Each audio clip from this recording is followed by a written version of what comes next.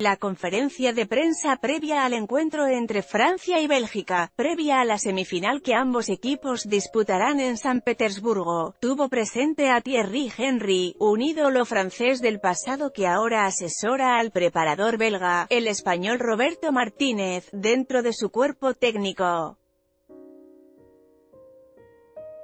Me alegro por él porque de verdad le aprecio, fuimos compañeros de equipo.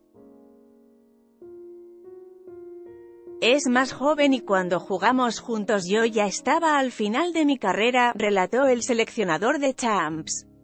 Esto sucede a veces, añadió de Champs sobre la situación de Henry, campeón del mundo con Francia y ahora en el bando contrario en Rusia 2018. Es una situación difícil porque se va a enfrentar a su país. Pero desde el momento que se comprometió con el cuerpo técnico de Bélgica sabía que esto podía pasar, añadió. En el plano personal, será un placer coincidir con él y nos saludaremos, añadió el seleccionador de Francia.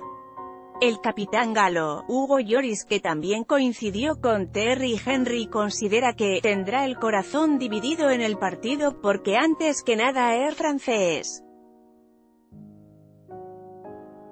Aún así, el portero del Tottenham destacó, la suerte que tuve de jugar con él durante dos temporadas. Fue un gran jugador y un caballero, será raro verle con la selección de Bélgica pero es su carrera y fue su elección, así está forjando su trayectoria, añadió el meta de la selección de Francia.